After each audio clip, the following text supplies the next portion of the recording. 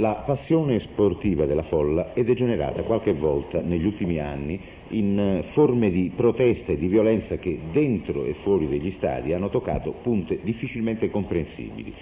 L'esempio forse più clamoroso è la rivolta di Caserta nel 1969.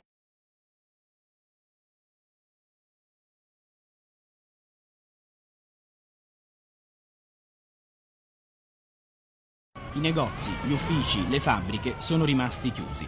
Per decisione del provveditore sono stati sospesi gli esami di riparazione in alcuni istituti scolastici.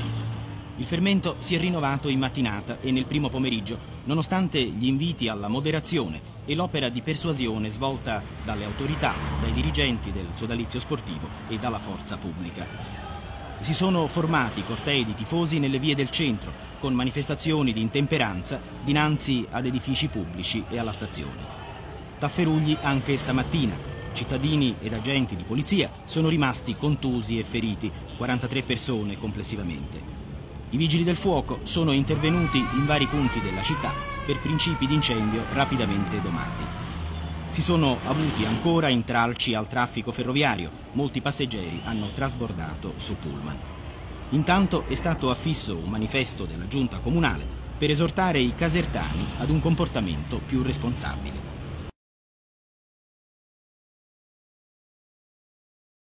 Rivela, lei ha visto il servizio di Caserta? Sì, eh, l'ho appena visto e veramente sono rimasto sconcertato, allibito. Non, non, credevo possibile potesse succedere un fatto del genere come quello che sta accadendo in questo momento a, a Caserta.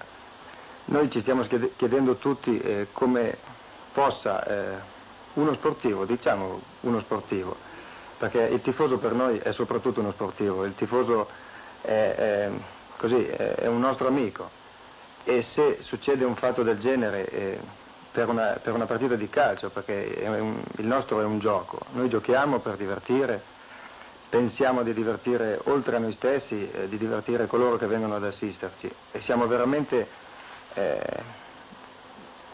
allibiti, dico, continuo ad insistere su questo oggettivo perché eh, è quello che mi viene in mente maggiormente.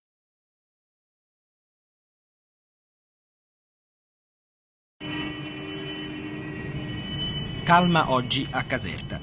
C'è stata una sola manifestazione, un ordinato corteo di tifosi mentre la città riprendeva man mano le sue attività. Una delegazione di sportivi ha chiesto al prefetto di intervenire per il rilascio degli arrestati e dei fermati per le dimostrazioni di ieri. Negli ambienti della questura si apprende che risultano in stato di arresto 99 persone, altre 51 sono state denunciate a piede libero. Queste le imputazioni, incendio doloso, danneggiamento aggravato, resistenza alla forza pubblica, violenze e lesioni. Continuano le indagini per identificare altri responsabili. Feriti e contusi sono stati dimessi dagli ospedali. Negozi ed uffici hanno riaperto man mano